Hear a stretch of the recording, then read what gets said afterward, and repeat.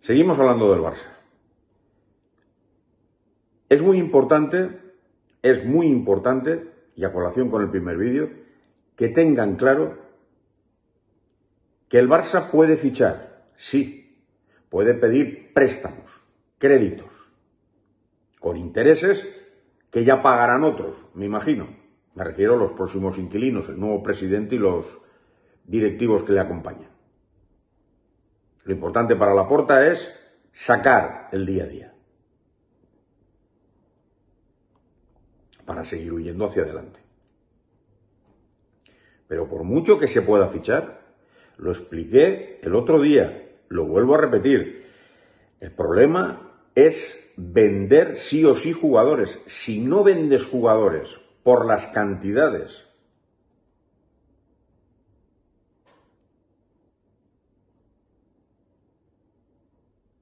que tú pagas al nuevo jugador, tú no puedes rebajar de esta manera la masa salarial si no hay ventas. Es de, es de libro. Es que no hay otra fórmula. Si no se trata de tener una marca nueva en los pantalones, no se trata de tener un catering de Norteamérica que firme por tantos años. Esto no soluciona la masa salarial del Fútbol Club Barcelona. La masa salarial se soluciona vendiendo jugadores que te liberen cantidades que tú vas a necesitar para contratar a otros. Por lo tanto, no se puede hablar con mucha ligereza sobre estas cuestiones y sobre estos temas, porque si hablas de esta manera, te puedes quedar con el culo al aire. ¿Qué le pasa a los J. Jordi y compañía? Que hablan de oídas, les cuentan, pero no saben porque no son profesionales de los medios de comunicación, por mucho que aparezcan en ellos, no saben cómo analizar lo que les cuentan desde la directiva o desde alguna parte del entorno del Barcelona. No saben entenderlo y lo explican mal y luego hacen el ridículo. Por cierto, Estamos esperando, estamos esperando el sorpresón de J. Jordi. Dijo antes de marcharse de vacaciones, me cuentan que dijo que el Barcelona haría un daría un sorpresón a la afición del Fútbol Club Barcelona. Estamos esperando el sorpresón. Estamos esperando el sorpresón. Estamos esperando a Nico Williams, estamos esperando a Merino, estamos esperando a Kimmich, estamos esperando a Dani Olmo, estamos esperando y esperando y esperando. Y no has vendido absolutamente a nadie. Y J. Jordi, que es un visceral bufandero, que hablando te das cuenta de que no tiene ni puñetera idea de lo que dice, pero ni puñetera idea. Es un, tío que habla por hablar. Pero no sabe lo que está diciendo. No, no piensa. No es una persona que diga, bueno, me han dado esta información, o tengo esta información, o tengo claro que es así, o de otra manera, pero voy a, pensar y voy a, a tener claro que esto se puede hacer. Esto, oye, pues no, porque es que, claro, necesitamos vender. No, esto, esto no es importante para este tipo de, personajes, porque son unos personajes que hacen el ridículo, por eso le llamo personajes. ¿Por qué no analizas y dices, bueno, me dicen que tenemos la posibilidad de, de fichar, pero tenemos que vender jugadores sí o sí. Mientras no se vendan jugadores, no hay posibilidades de fichar a ningún jugador. Esto ya sería correcto. Esto ya sería de una persona con luces aquí y dirías, pues este tío, oye, pues sabe de qué va la historia. Pero esa prepotencia que a veces suelta el tal J. Jordi, vamos a fichar cuando hablan con los compañeros de Bilbao en la televisión, vamos, ya te he dicho yo que vamos a fichar porque el Barcelona tiene la posibilidad y lo va a hacer y no sé qué y no sé cuánto y porque nosotros y tal. Cuando un tío habla de esta manera, aparte de lo negativo que, es para el propio club, para el Fútbol Club Barcelona, Evidentemente los culés, la gran mayoría, no somos como J. Jordi. Lo he dicho por activa y por pasiva. Y espero que me entiendan.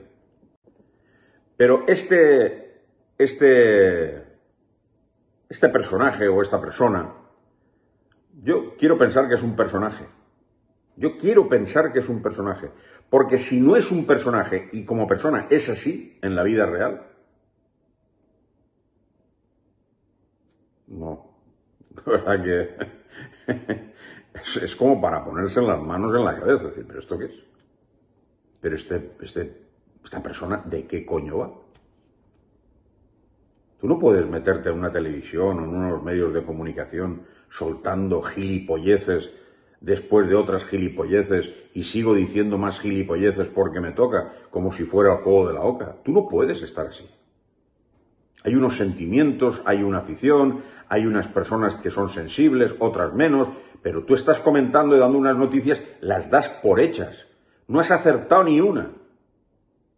Desde que estás en el programa no has acertado ni una, pero sigues con la historia de que bueno, de que tal, de que tal, porque nosotros, de tal,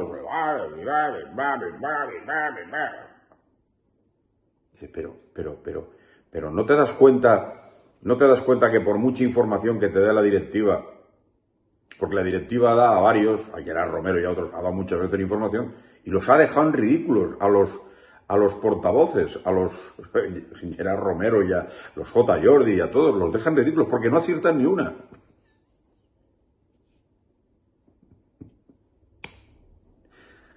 Pero estos, como si, como si estuvieran abducidos, siguen, siguen con la película, bueno, porque tal, me han dicho, porque esto, porque tal, oye, porque esto está hecho, porque tal, no cuándo, no sé cuándo. Yo, pero si puedes fichar a Nico Williams, tío, pero ¿cómo lo vas a inscribir? Por mucho que Tebas amplíe con mucha flexibilidad los plazos, por decirlo de alguna manera, por mucho que el señor Tebas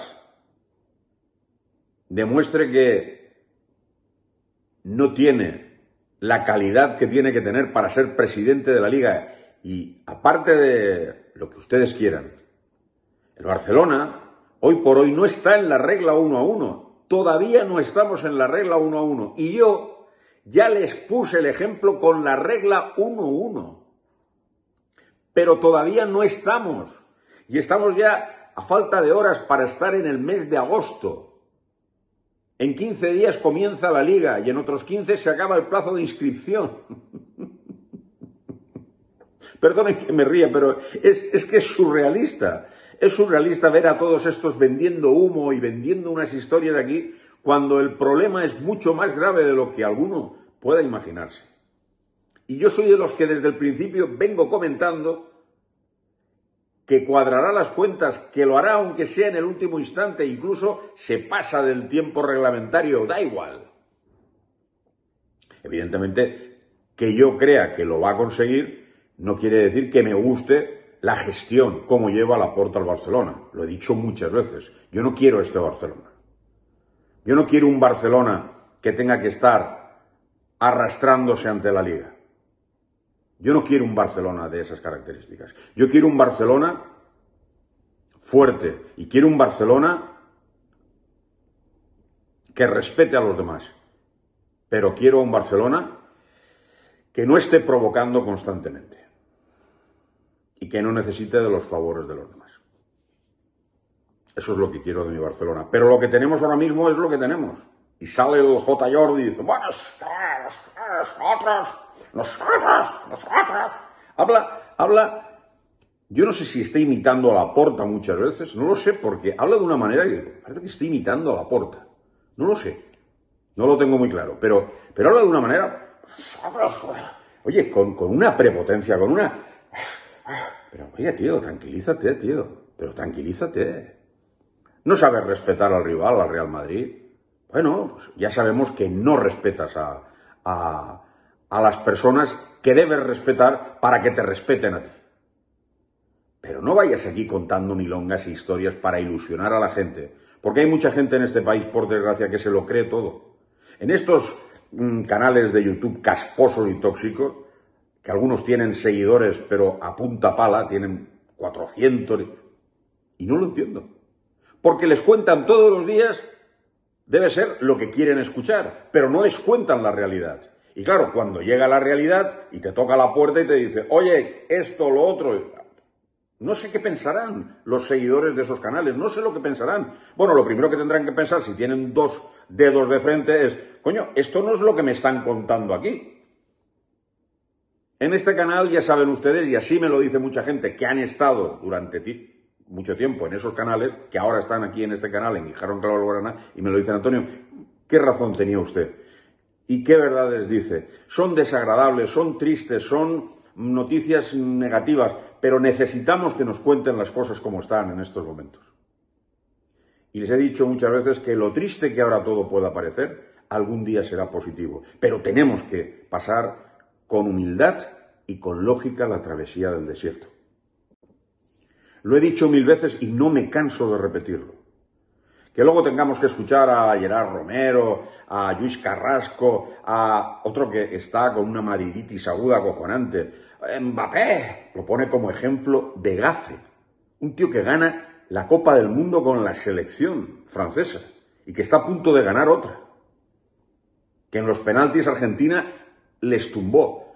Pero no puedes hablar así de, de Mbappé.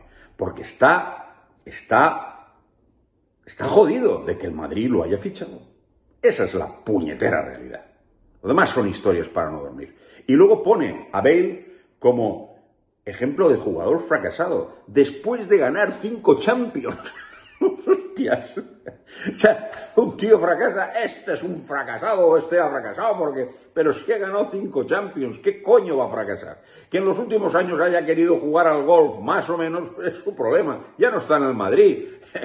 Terminó el contrato y Florentino le dijo, bueno, pues nada, hasta otra. Pero, pero no puedes, no puedes desprestigiar o llamar fracasado a un jugador como Bale, que ha ganado cinco Champions, coño. y en algunas Champions jugador decisivo. O sea, es algo acojonante, de verdad. Es acojonante. Jordi, J. Jordi, que salen ahí, el, el, el Álvarez, el, el, el Lorente, que, que, que con Bartomeu los últimos años en silencio no decía nada de lo que pasaba y ahora el malo es la porta.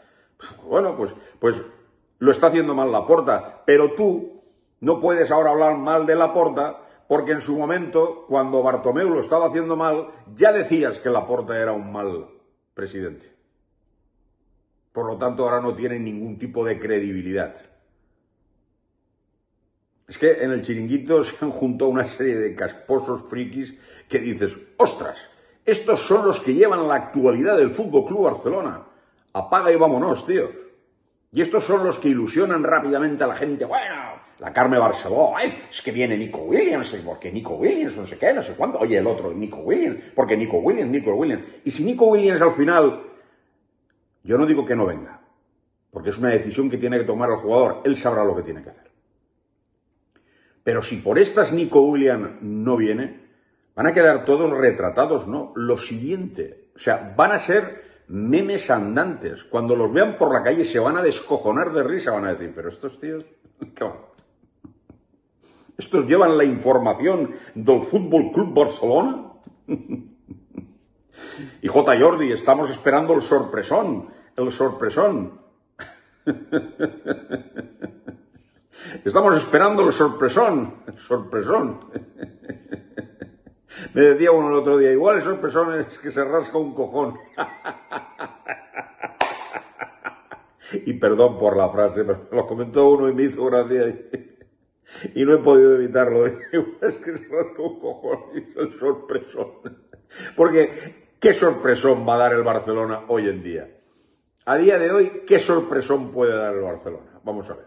Ya me gustaría a mí fichar a jugadores espectaculares, pero vuelvo a repetir, el problema no es que los puedas fichar, el problema es que los puedas inscribir.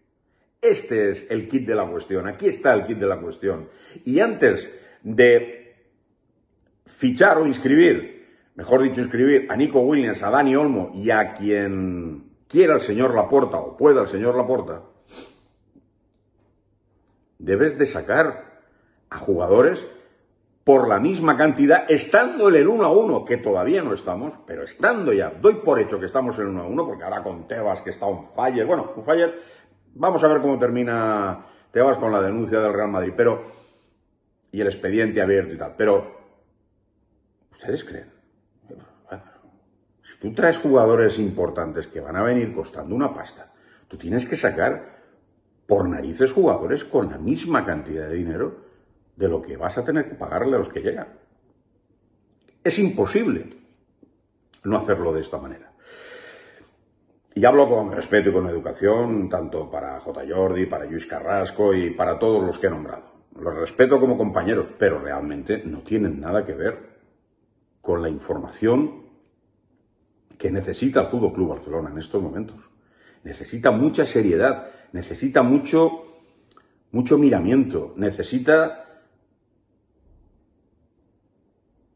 mucho tacto lo que se diga.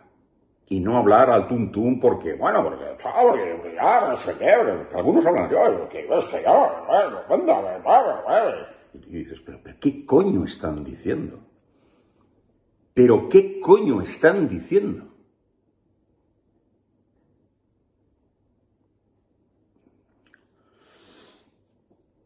En fin, ustedes mismos pueden juzgar o se pueden ir a la playa y tomar, ¿eh?